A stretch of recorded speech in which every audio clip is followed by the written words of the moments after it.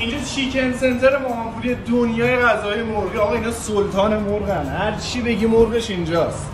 اینجا اول مرغاشون رو سرخ می‌کنن بعد یه سوسی که خودشون درست می‌کنن و میریزن رو مرغشون بعد دو تا کفگیر برنج.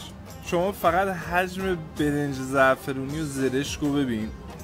سیب زمینی و آب مرغ هم میاد کنارش. به به.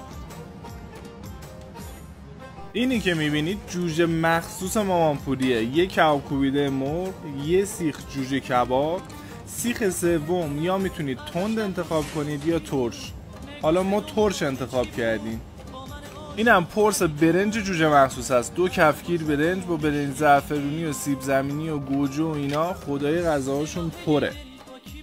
این هم که مشخص پاستا چیکن آلفردو مامانپوری به به. کردن بولوهاشون معروفه.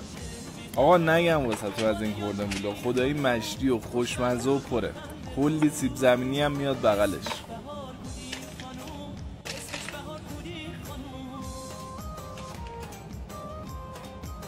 اینم خورش کاری مامانپوریه بچه این خورش خیلی خوشمزه است. من امتحان کردم. بچه اینجا آب معدنیش مجانیه. آب معدنی خوردید فاتحه به روی مامانپوری عزیز میفرستید. عشق منید تاج سری.